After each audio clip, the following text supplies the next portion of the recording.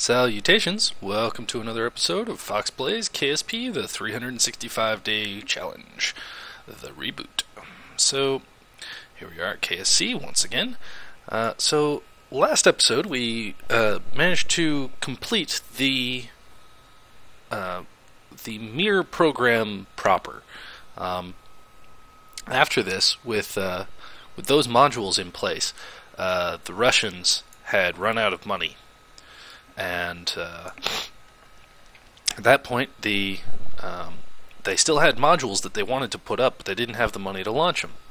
So what happened was uh, the Americans offered uh, to pay for the launch of the of the modules, um, provided that the modules were modified to accommodate American astronauts who would be visiting Mir on the space shuttle. So, the first module uh, that we will be delivering of the Shuttle Mir program uh, is, well, I'll see you on the launch pad and we'll talk more about it. Alright, here we are on the launch pad once again. Uh, again, using our uh, TLV2 launcher.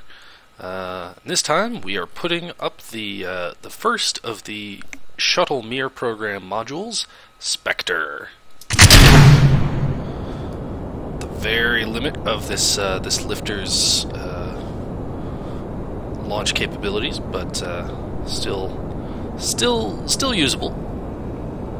Um, so yeah, Spektr uh, was a very interesting module. It was originally Spektr was designed as a military module. It was designed uh, by the Russian military, and it was designed to spy on the United States. Um, but uh, if NASA was paying for it, they weren't gonna let it be a, a, spy satellite to be used against them, now were they? So, uh, so Spektr was redesigned, um, and although it's still uh, some some aspects were retained because uh, basically it was used to house NASA-sponsored experiments, which did include Earth observation. So there's a little kind of a turnaround there. Um, so it also Spektr also housed um, the main living quarters for the uh, American astronauts, um, and the workspace that they would they would typically use. Um, another key feature of Spektr was uh, its four solar panels, which uh, which, when configured correctly, generated over half the station's power. Um, they were very advanced for their time, and especially in comparison to the other solar panels on the station. Um, honestly, that's that's just about all I have to say on Spektr. Um, suppose I should talk a little bit about uh, the Tantares pack. Um, it is, after all, a uh, this is one of my videos using the the Tantares pack, um, and wouldn't you know it, uh, has just been updated, and uh, to a certain extent has invalidated all of my missions so far.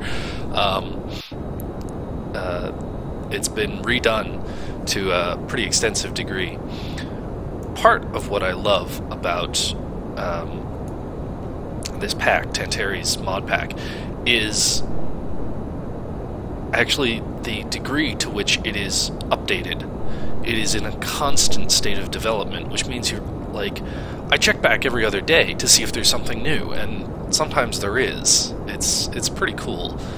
Um, so yeah, the uh, the mod creator has recently gone over and he's redone basically from scratch um, the Tantares or the Soyuz, uh, the uh, Hamal or the Progress, um, Alnair, which is the TKS equivalent. Um, I think he's also redone the Vega stations or the Salyut stations.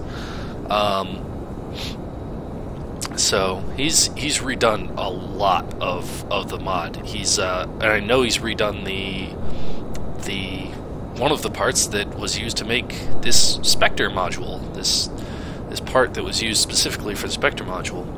Um, and uh, something that I really love about this mod pack is that it focuses on being a construction kit, but not, but more in the Lego sense instead of say a model kit.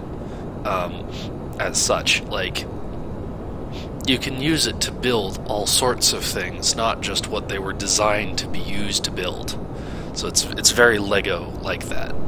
Um, so he's updated the Spektr module, there's first stage cutoff. He's updated the Spektr module in such a way that it's kind of viable as a command pod for other missions. Um, you know, it's it's it's quite easy to to make miscellaneous craft using the Tantares uh, parts, which I just love. So, because there are certainly some uh, some mod packs out there where the parts are really only useful built to build the the craft that they were intended to build. Sometimes they're designed like that. Sometimes the mod creator creates a whole bunch of parts and thinks, "Oh, they can be used however you want," but everybody only really uses them to make the the craft that they were intended to be uh, built into. Um, not so with Tantares, I find. Um, which is a little hypocritical because I have been flying a lot of historical missions recently. Um, and they are, of course, all assembled into the, the various ships that they were intended to replicate. But uh, I think after we complete Shuttle Mir uh, program, which should be very, very shortly, uh, next couple days, really. Um, once we complete that project, um, I'm going to start making some kind of what if type missions. Uh, I want to go back to the moon, um, or to the moon for the first time for this save. Um, I want to go to Minmus. I want to go to Duna, and you know, there's there are ways to do that which could be, you know, identical to real world real world uh, Soviet missions to go to you know those places analogs. But I think what I'm going to do instead is I'm just going to build my own and see where that goes. Anyway, um, pretty clear that we are going to space today, so uh, I'm just going to put a cut here. Um, it may, I think our fuel is going to be a bit tighter than I'm used to. Um, just uh, by virtue of uh, this being a heavier module. Um, so I'm not going to be able to do the rendezvous in one orbit thing that I'm used to doing, that I like doing. So anyway, I'm going to put a cut here, and I'll see you when I'm uh, ready to dock. And here we are, entering physics range. Alright, and uh,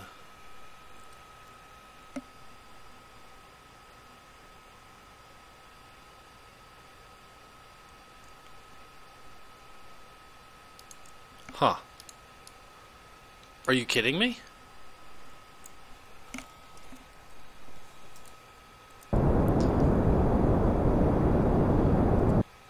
Ah, I miscalculated that. Where'd it go? Where'd it go? Where'd it go? Okay, we're not quite as screwed as I thought we were.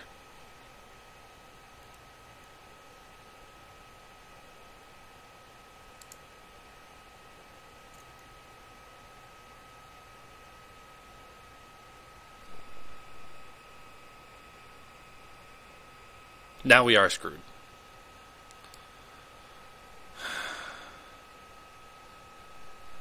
Well, it's in orbit.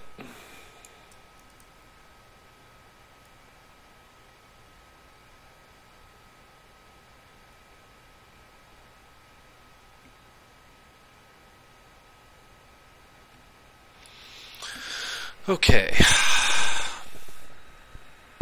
I think we can fix this, but uh, It's going to be weird. Well, technically it counts as a mission, so whoopee. Alright, well, that's a bit of a downer. I was hoping to get this docked, but I think we can mount a salvage mission uh, tomorrow. Uh, assuming this didn't go suborbital on me. I don't think it did. Nope, still solidly orbital. Alright, well, we'll mount a, a salvage mission tomorrow. Um, until then, I've been Foxx. This has been KSP with the Tantares mod pack. Uh, thank you for watching. Hope you enjoyed. Hope to see you next time. Take care.